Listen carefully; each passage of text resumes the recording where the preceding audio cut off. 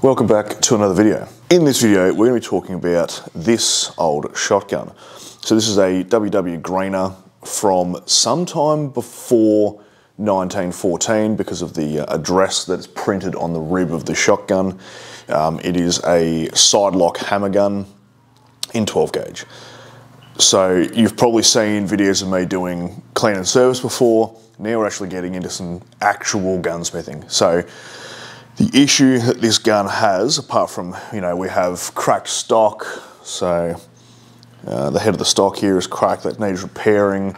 Um, someone tried to do a repair on the fore end here that's usually made of horn or ebony, and uh, they've just glued in a piece of pine that's not even fitted correctly um, and stained it orange for whatever reason.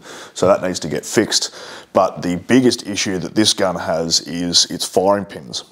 So once I pulled it apart and did its service, I noticed that this firing pin was sticking a bit, and there was also a bit of a disparity between our nipples. This nipple here was in the left fence, this nipple here was in the right fence. Uh, fences, detonators, breech face, whatever you want to call it, there's a many different names for these components. Um, I use them all interchangeably because there's a million different ways of saying it. So if I don't call something the way that you know it as, then I apologise. Um, there's just too many bloody names when it comes to shotguns. We also have different firing pins. So we'll, we'll do close-ups of this in a second, but we have mismatched firing pins, we have mismatched nipples, um, and yeah, it, it seems like someone's done some work to this gun. Now, Traditionally, this greener would have been colour case hardened. There is evidence of colour case hardening in some places, but it also looks like this action has been blued at some point. So you kind of see it's worn there, um, but the rest of it looks quite blued. Now that's a little bit odd because from my knowledge of greeners, particularly ones that are this old, they wouldn't have been blued. So I think this has been serviced by someone before. Um, but yeah, that's not really the remit of this video. We're talking about a nipple. So let's get a close up and we will get into it. All right, so here we are at the elephant in the room. So everything on the left here is correct to this gun. We have the correct nipple, we have the correct firing pin or striker, and on the right we have a different firing pin or striker and a different nipple. So let's have a quick chat about these. These firing pins are different measurements. This firing pin will not fit in the original nipple. This firing pin will not fit in this nipple. Now that's not completely uncommon for an old shotgun because a lot of stuff is fitted by hand. So left with left, right with right. Um, so potentially these firing pins are both um, originals. However, we have different collars on them. So this one here is flat based on the bottom and tapered forward. This one here is flat based uh, and actually domed. So it's slightly different form factor to it. Um, they are almost the same length, but not quite. Um, so it leads me to believe that potentially when this nipple was changed, which we're going to talk about in a second, this firing pin may have been changed. It will probably still work, but it's just something we need to bear in mind when we're fitting this up together. Now you can see that the form factor on these two is quite different. This one looks really small. This one has a lot bigger of a head on it. Now, what I believe they have done is this has been made from an old grease nipple. And I'll tell you why I came to that conclusion now.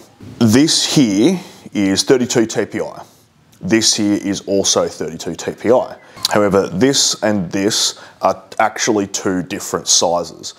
So if I was to uh, mic these, 0.235, 0.252. What does it tell us? A 235 by 32 TPI and a 250 by 32 TPI. This is a quarter 32 grease nipple.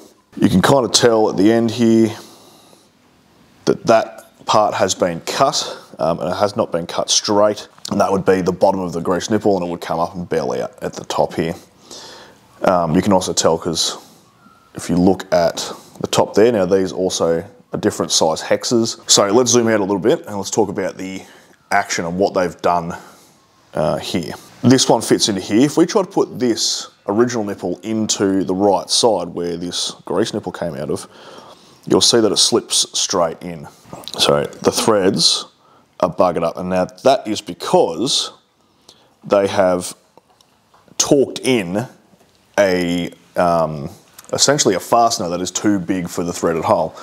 So being that this is, what do we say, it was 235 versus 250. So being that this is 15 thou bigger, yeah, the, the thread pitch is the same, but the thread depth is not the same. So to fix this, we're going to have to, now these are a little bit buggered up in here and it's kind of hard to get even this one back in. So I'm gonna have to run a quarter 32 tap down there just to clean those threads up slightly uh, and just make sure that that is all the correct depth and everything. And then I'm gonna have to remake this nipple. Now the reason why I'm not just gonna reuse that one because it's not from this gun, but two, if we were to put that in there and that in there, let's zoom back in again, you can see how much uh, of the rear of the firing pin is protruding from each one.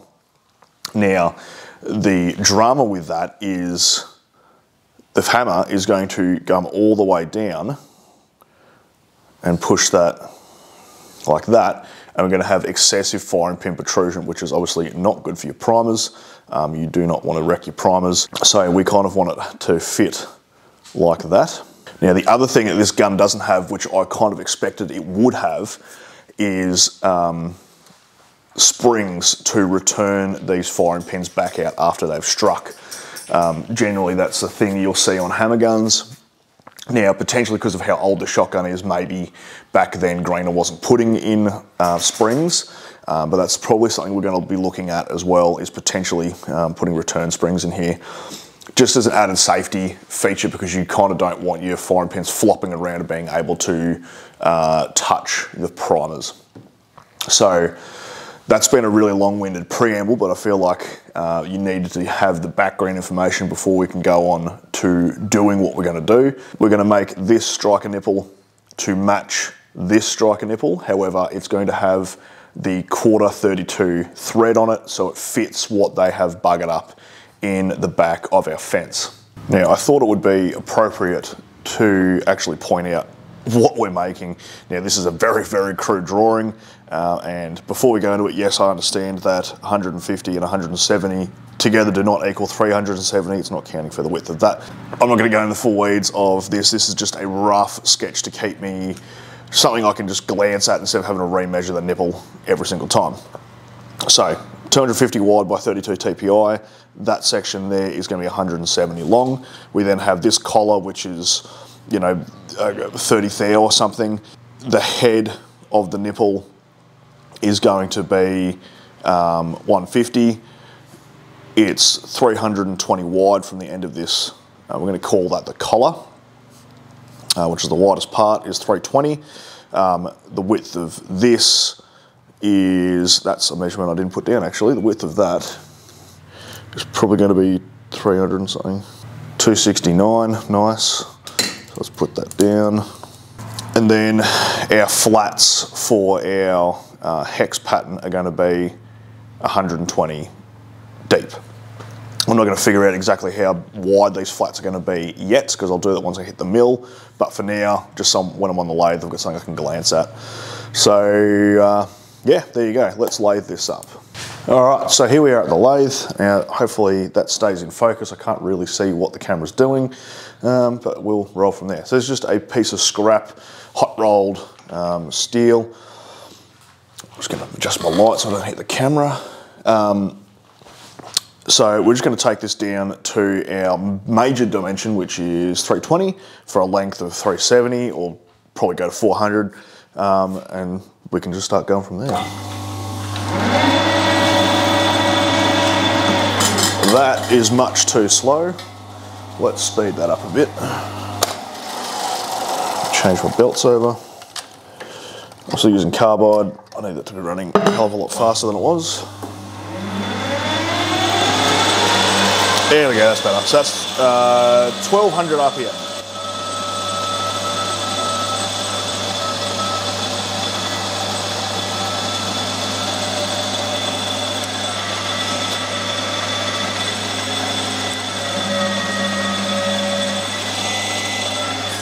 Let's quickly check where we're at. 345. So I'm going to come in 15 thou. Let's just go 10 thou for now. Snake up on it. Now this dimension's not critical, so it doesn't really matter if we're a little bit off. 335.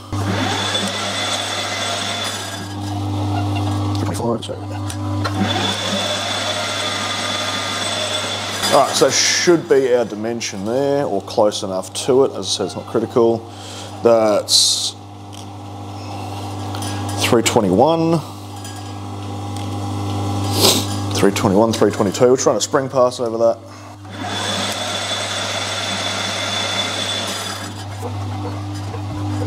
So what we're going to turn here is this front part where the thread is. All right, so we're not going to worry about anything above the collar. We're just going to cut this part here. So we need to take this down to a major size of 250 for a length of 170.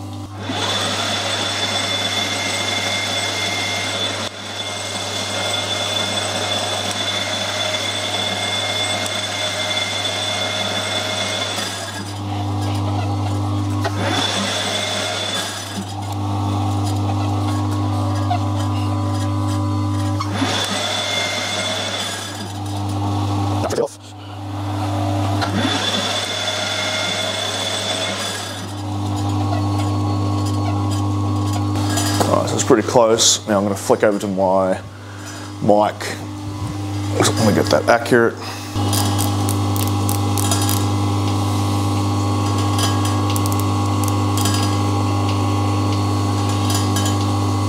You can read that, that is 250 on the dot.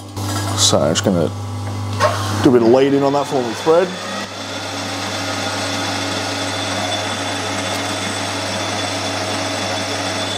Alright, so was just taking those sharp edges off. So now we to set it for threading and we are going to thread that end to 32 TPI. This is running at uh, 130 RPM. Uh, I've got a carbide cutter in there. It's a little bit slow for carbide. Um, I can't be asked getting my high speed steel one sorted. We'll see how this goes. Obviously, if we wreck that, we can just make it again. It's not really a big deal. All right, so this should just be a scratch pass. Obviously, it's starting a fair way back. I like to start my threads a fair way back so I've got time to, you know, glance everything and double check everything before it starts. Get ready for it so I can turn it off. And bang, there we are. And now we can double check that that thread pitch is correct with our thread pitch gauge. Yep, we are turning a 32 TPI thread.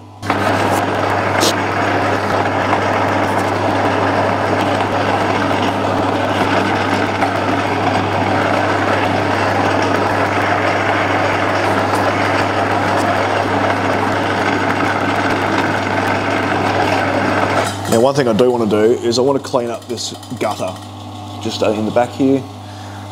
Using your finger as a pointer, it's a no-no. So I want to clean up this gutter in here just so that we know that this is not going to uh, impede us going into the action.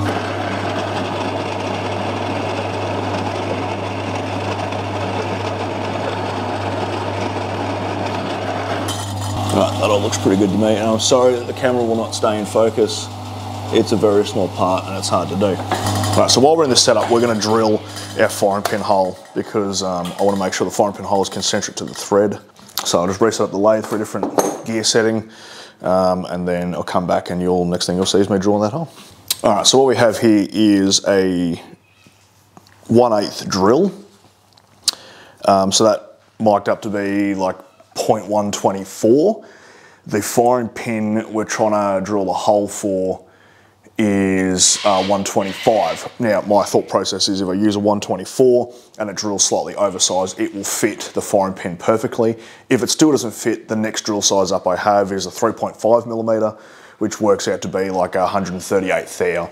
So it'll give us, you know, a few thou slop, but it shouldn't be too much of a drama. So we're just gonna drill with this one, we'll measure and fit, and if we need to step up, we can step up.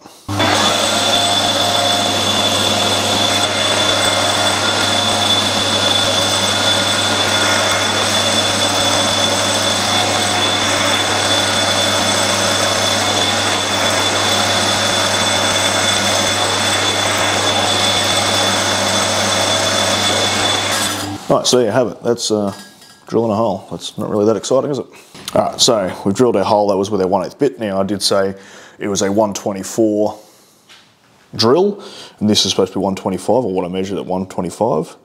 It did, did drill slightly oversized, which means that fits in there nicely now. I don't have my collet chuck for this fully functioning yet. Um, I do have a, a MT5 uh, collet chuck, but I haven't got the drawbar yet. I've got some threaded rod coming in the mail to make that drawbar. So normally what I would do is I would cut that off, flip it around, use a collet to hold the threaded end, um, and then you know do the other side. But because I don't have that functioning, obviously I can't hold the collet chuck into the spindle if I don't have the drawbar. So what I'm gonna do is I have a left-hand turning tool. So I'm gonna cut a little groove with a parting blade, use a left-hand turning tool to turn from left to right, back the other direction and make our major diameter on our, our um, hex end, uh, and then cut in that little shoulder. So let's uh, crack into that. All right, welcome to my janky setup. So what I had to do, um, so I've got a center here because of how far it's sticking out. That center also helped me keep uh, this somewhat concentric to the middle bore. Now obviously this is not super important. It's a bloody firing pin nipple. It's not, you know, I'm not chambering a rifle here. So it's not super critical that it's completely concentric. So I've got it sticking out. I had to turn this section here down so I could get my turning tool in. Now this turning tool does have a lot of stick out, but you know, it's mild steel, it's a very small part, and we're not gonna be taking very deep cuts. So it will be fine.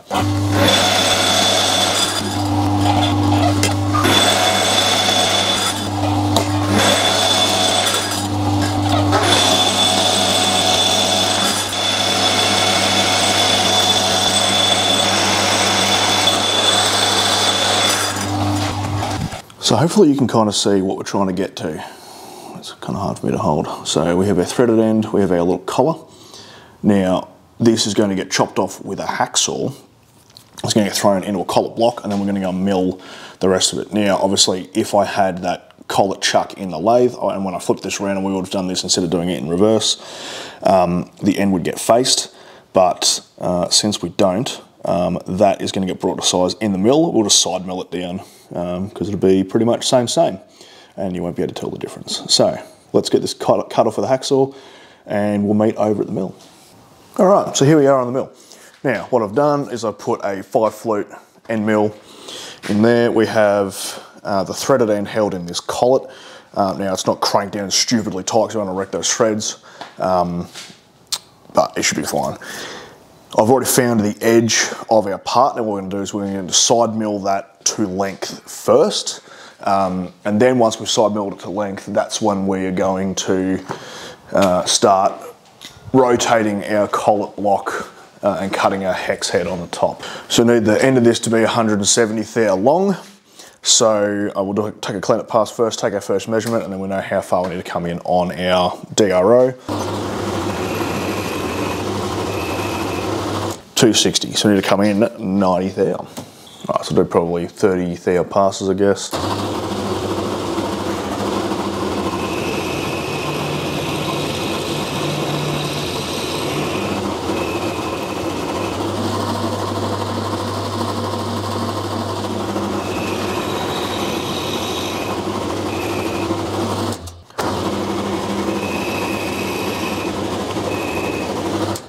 All right, now we're at length. So now we can go along with cutting our hex.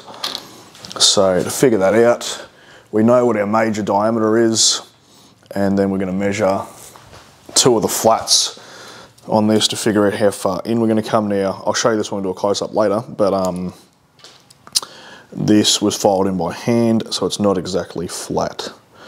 230, 232, 234, 231, so at 232-ish. So if we went from, what about this, 269. So if we go, let's call it 268, 268 minus 232 2 equals 36 divided by 2 equals 18. So we need to come down 18 thou from the top.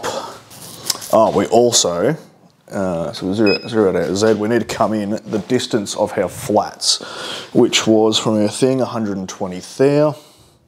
So let's come in Sorry, you can't see what I'm doing because I'm looking at my DRO, but just trust me, it's we've come in 120 there. If we figure out where our top is, which is there, lock that down, come off the part. Now, zero out our Z, and we need to come down 18 there. That looks about right.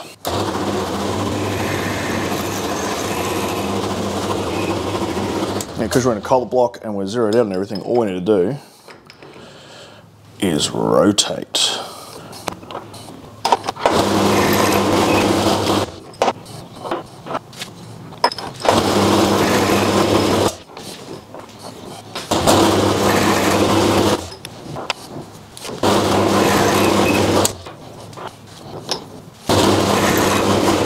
All right, there you have it. That's a hex cut. Super simple stuff. All right, let's go back to the bench. Um, next time you see me, that's gonna be completely deburred, polished up and we're going to be next to our other nipple and we can compare the two. Righto, so here we are installed into the gun.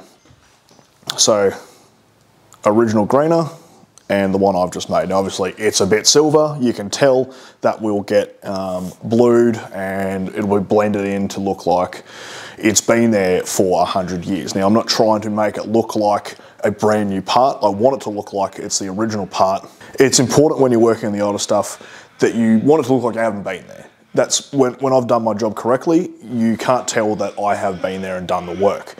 Now, if you're working on something modern or you're doing a custom build whatever, obviously you do want to know that, you know, the gunsmith has been there. But for this sort of stuff, you don't. As I said before, this one had its hex cut in by hand. Now you can kind of tell that it's wonky as all get out, especially that end there, because obviously filed by hand. Now, with modern machinery, we've made that hex look uh, a hell of a lot better.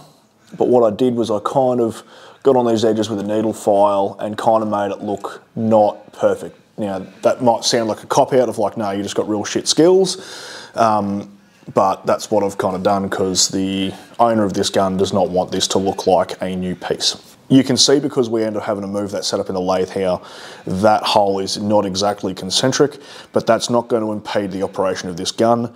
And if anything, it kind of makes it look more like it's a hand filed component and not a refab.